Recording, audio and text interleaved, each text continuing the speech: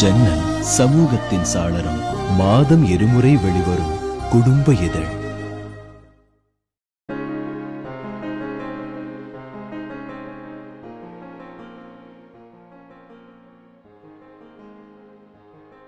Ajman நாட்டில் கன்னியாகுமரி திருநெல்வேலி மாவட்டத்தை சார்ந்த மீனவ சகோதரர்கள் இருபத்தி மூன்று பேர் பிடித்து வைக்கப்பட்டிருக்கிறார்கள்.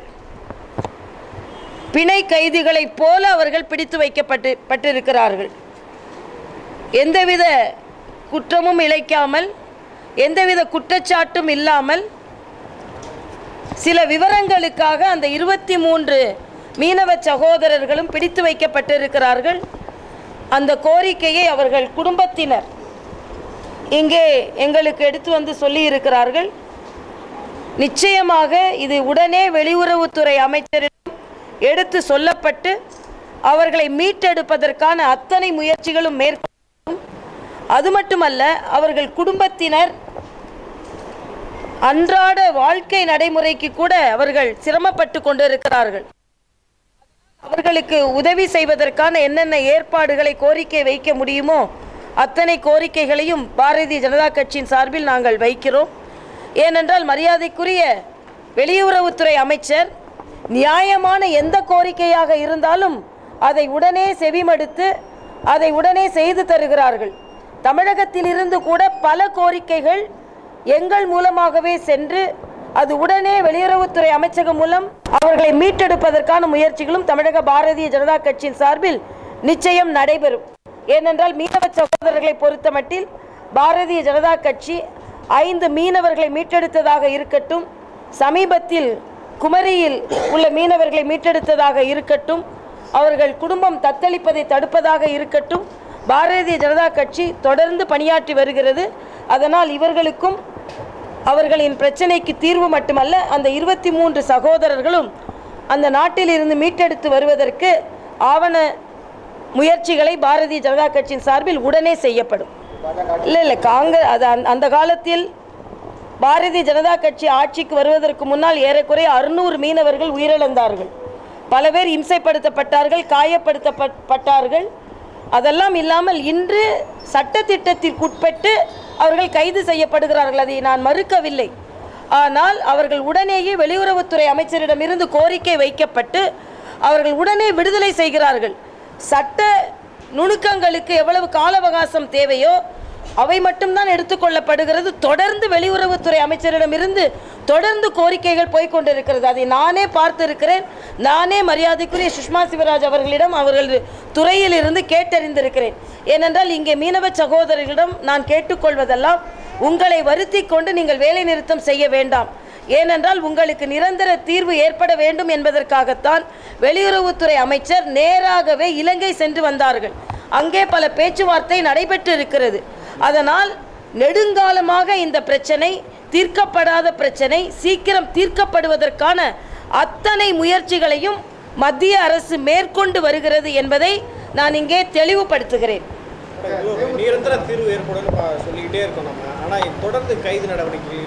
இல்லை ஏதாவது ஒரு நாட்டின் ஒரு நாட்டின் தாண்டினால் கைது செய்யப்படுவார்கள் என்பது சட்டத்திட்டம். அந்த சட்டத்தை நாம் மீற முடியாது. அதனால்தான் மரியாதைக்குரிய சுஷ்மா சிவராஜ் அவர்கள் மீனவ சகோதரர்களை அவர்கள் சந்திக்கும் பொழுது கூட இதை சொன்னார்கள். ஏனென்றால் சர்வதேச சட்டத்தையோ மற்ற நாடுகளின் சட்டத்தையோ நாம் மீற முடியாது. அதனால்தான் அவர்களுக்கு மாற்று ஏற்பாடு செய்து தர வேண்டும் என்பதற்காக அவர்களுக்கு வீடு கட்டு திட்டமாக இருக்கட்டும் அவர்களுக்கு ஆழ் கடல் மீன்பிடிப்பு திட்டமாக இருக்கட்டும் அதற்கான ஒரு மிகப்பெரிய திட்டத்தை செய்து வருகிறார்கள். ஆனால் சட்ட திட்டத்திற்கு உட்பட்டு சில நடவடிக்கைகள் எடுக்கும் பொழுது அது மட்டுமே மீனவ சகோதரர்கள் மீது எடுக்கும் நடவடிக்கையாக முன்னிறுத்தப்படுவதனால்தான் அவர்களுக்கு நல்ல திட்டங்களை நாம் கொடுப்பது மறைக்கப்பட்டு விடுகிறது என்பதை நான் இங்கே தெளிவுபடுத்துகிறேன். தொடர்ந்து மத்திய அரசு மீனவ சகோதரின் நலனில் அக்கறை கொண்டிருக்கிறது. அவர்கள் அதை நம்பிக்கையோடு எதிர்கொள்ள வேண்டும் என்பதும் எனது கோரிக்கையாக இருக்கிறது.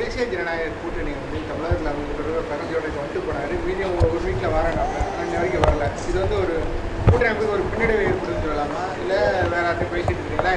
அதாவது தேசிய ஜனநாயக கூட்டணியை பொறுத்த மட்டில் எந்த பின்னடைவும் இல்லை. வெளிப்படையாகவே பேச்சுவார்த்தை நடைபெற்றது. இரண்டாயிரத்தி பதினான்கில் எங்களோடு யாரெல்லாம் கூட்டணியில் இருந்தார்களோ அவர்களை எல்லாம் நட்பு ரீதியாக ஒரு சுற்று நாங்கள் பேசி முடித்து விட்டோம். அடுத்த முறை வருகிறேன் என்று சொன்னது கூட பாராளுமன்ற நடவடிக்கைகள் இல்லை என்றால் வருகிறேன் என்று சொன்னார். அதற்குள் மற்ற கட்சிகளிடமிருந்து சில அறிவிப்புகள் வந்திருக்கிறது.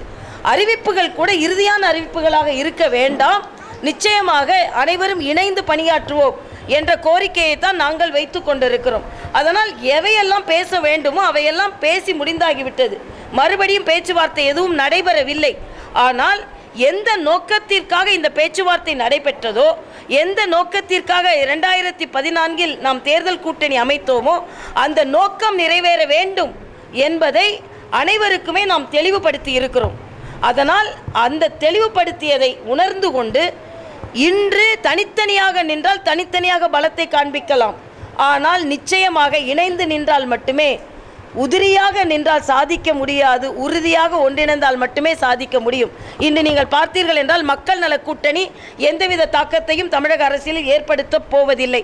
அவர்கள் நான்கு முறை ஐந்து முறை பிரச்சாரத்தை மேற்கொண்டாலும் நூறு முறை பிரச்சாரத்தை மேற் ஏற்படுத்த போவதில்லை. அதே போல திமுக காங்கிரஸ் கூட்டணி நிச்சயமாக மக்களால் நிராகரிக்கப்பட்ட கூட்டணி. இன்று ஆண்டு கொண்டிருக்கும் கட்சி மேல் மக்களுக்கு அதிக அதிருப்தி இருக்கிறது. ஆக ஒரே ஒரு மாற்றத்தை கொண்டு வருவதற்கு ஒரே ஒரு அணியைத்தான் மக்கள் எதிர்நோக்கி இருக்கிறார்கள். அது பாரதிய ஜனதா கட்சி அங்கம் பெறும் அணி. அதனால்தான் ஏனென்றால் ஊழலுக்கு மாற்றாக நிச்சயமாக இன்றிருக்கும் சூழ்நிலையில் அதிமுகவிற்கு மாற்றாக திராவிட முன்னேற்ற கழகம் இருக்க முடியாது. ஏனென்றால் அது சாராய கடைகளை திறந்ததாக இருக்கட்டும் லஞ்ச லாவண்யத்தை ஊக்கப்படுத்தியதாக இருக்கட்டும் இன்னும் சொல்ல போனால் வளர்ச்சியின்மையாக இருக்கட்டும் அத்தனைக்கும் காரணம் இரண்டு திராவிட கட்சிகளும் தான். ஒரு மாற்றம் வந்தே வந்தே ஆக வேண்டும் ஆனால் அதற்கான முயற்சியை அத்தனை பேரும் எடுக்க வேண்டும். பாரதிய ஜனதா கட்சியின் சார்பில் ஒரு கோரிக்கையாகவே நான் வைக்கிறேன். நாங்கள் இருநூற்றி முப்பத்தி நான்கு தொகுதிகளிலும் எங்கள் நாங்கள் சந்திக்க தயார். ஆனால் எவ்வளவு விரைவாக கூட்டணி கட்சி சகோதரர்கள் முடிவெடுத்து நான் பெரியவன் நீ பெரியவர்கள் நாங்கள் முதல்வர் நீங்கள் முதல்வர் என்ற கோரிக்கைகளை எல்லாம் புறந்தள்ளிவிட்டு அனைவரும் ஒன்றிணைந்து என்று பணியாற்றுகிறோமோ அன்றுதான் எந்த நோக்கத்தில் இன்று அரசியல் செய்து கொண்டிருக்கிறோமோ அதை நிறைவேற்ற முடியும். இல்லை என்றால் திராவிட கட்சிகளுக்குத்தான் சாதகமாக இன்றைய சூழ்நிலை அமைந்துவிடும். இது யதார்த்தமான உண்மை. இதை உணர்ந்து அத்தனை கட்சிகளும் ஊழலுக்கு எதிராக யாரெல்லாம் போராட வேண்டும் என்று நினைக்கிறார்களோ வளர்ச்சிக்கு ஆதரவாக யாரெல்லாம் போராட வேண்டும் என்று நினைக்கிறார்களோ அவர்களெல்லாம் நிச்சயமாக ஒன்றிணைய வேண்டும். ஏனென்றால் நேற்று இரண்டு தினங்களில் சூழ்நிலையை பார்த்தாலே தமிழகத்தில் எத்தகைய சூழ்நிலை நிலவுகிறது கௌரவ கொலை நடந்திருக்கிறது. கூட்டணி கூட பாரதிய ஜனதா கட்சிக்கு நன்மை பயக்கும் கூட்டணியாக நாங்கள் அமைத்திருக்கலாம். இன்று நாங்கள் ஆளும் கட்சியாக இருந்து கொண்டிருக்கிறோம். நாங்கள் முயன்றிருந்தால் எப்படி வேண்டுமானாலும் கூட்டணி அமைத்திருக்கலாம். ஆனால் மக்கள் எதை விரும்புகிறார்களோ அந்த கூட்டணி அமைப்பதற்காகத்தான் இன்று நாங்கள் பாடுபட்டு கொண்டிருக்கிறோம் என்பதையும் நான் தெளிவாக அதாவது அனைவரும் இணைந்து பணியாற்ற வேண்டும் என்பதைத்தான் எங்களது விருப்பமாக தொடர்ந்து நாங்கள் சொல்லிக் கொண்டிருக்கிறோம். அனைவரும்